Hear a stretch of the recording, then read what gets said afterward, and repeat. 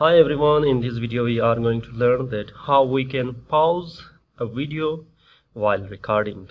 Now for that one, I'm going to show you the demonstration that what I'm going to what does I mean. For example, if I'm going to come here in video and then you can check here we have like for example I'm going to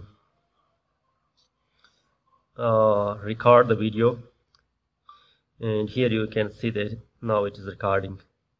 But two button we have here. One is that one and one is this one. If I'm going to press that one it will capture uh, the image in between video. But this one will stop the video not pausing that video. For example it is running right now and when I'm going to press that one it will directly stop and save the, for the file in the phone now what we are going to do for that one if you have like uh, we are going to come and we have here uh, webcam video cam and uh, video cam is one of the best software or we can say that video software where you can record the video and also you can pause the video. And uh, you can download that easily from the app store and right now we are going to just click that.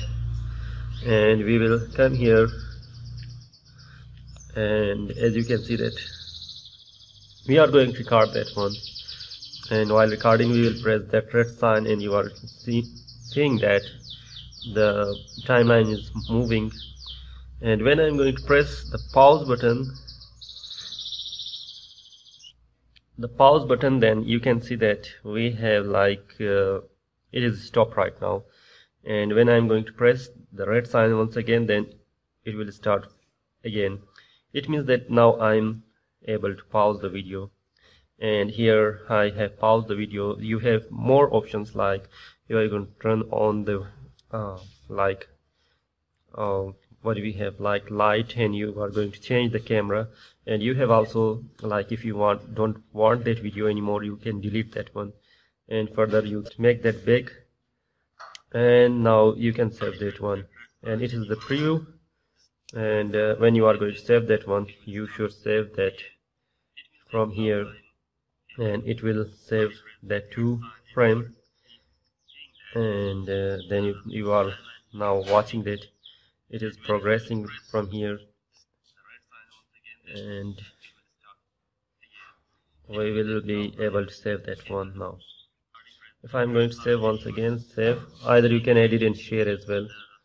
Once again save that one and we are going to let's save and you are going to see that it's saving right now and now it is saved.